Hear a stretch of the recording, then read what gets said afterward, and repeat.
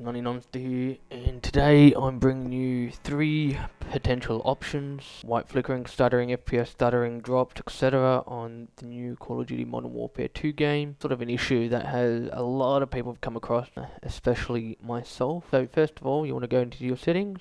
Two things you're needing to do is to go to display and select display mode to full screen borderless. For some reason or another, the main fix for me specifically. I've always gone for, to full screen exclusive, and for some reason that makes the flickering uh, and the FPS stuttering, especially when you load up a match, makes it worse. So I've selected full screen borderless, and that for now has fixed my issue.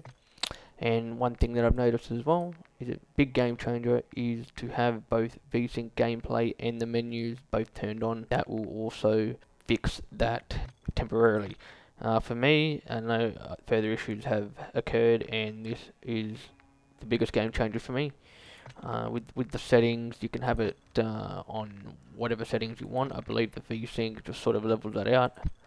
Um, and yeah, so you can have it on high, for example. That's the first option.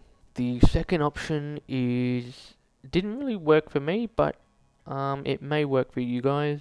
Is NVIDIA have released a hotfix driver, and this will fix any sort of current issues.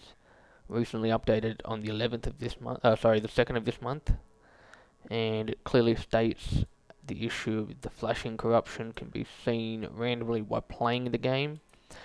That is referring to the white flickering, usually 1 2 milliseconds every now and then it, it can be quite annoying and distracting. So all you need to do is just click here and automatically download and it will basically repair uh, the driver and you'll need to restart your computer for that to take effect.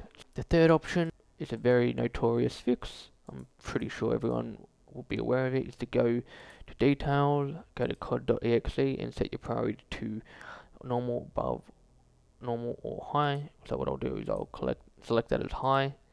Uh, you can also set the affinity to CPU 0 to 3 is recommended. I go all processors. I like to utilize all the cores in my CPU. The priority to high, uh, it would be best to set that with the cod.exe and uh, either the anti-cheat and BattleNet launcher whichever suits, uh, and you can just fiddle around with that. Those are the three potential fixes for the issues that have occurred, and that should fix any sort of FPS flickering, drops, etc.